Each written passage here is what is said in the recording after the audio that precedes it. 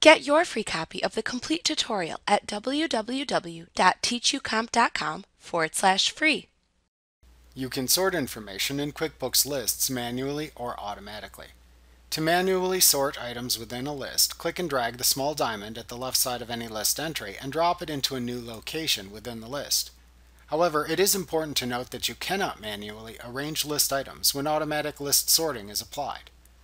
Also, be careful when manually arranging list items, as you may accidentally place subentries in a list like subaccounts in the chart of accounts or jobs within the customers and jobs list underneath an incorrect main account. The only way to fix this is to manually place it back from where it came. You cannot automatically resort the list to fix this type of mistake.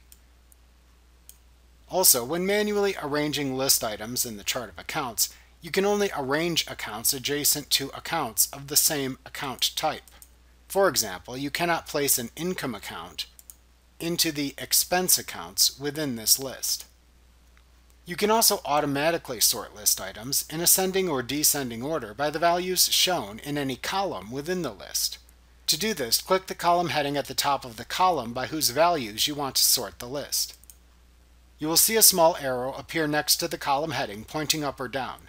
An up arrow indicates an ascending sort order, and the down arrow indicates a descending sort order. Clicking the name of the column shown in the column heading again will toggle the arrow between the up and down positions.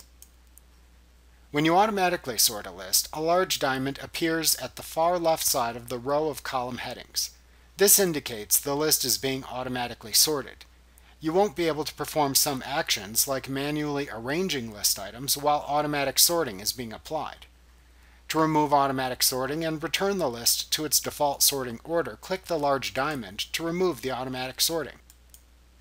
To resort a list and return it to its original sorting order, click the button that contains the name of the list in the lower left corner of the list window, and then select the Resort List command from the pop-up menu that appears.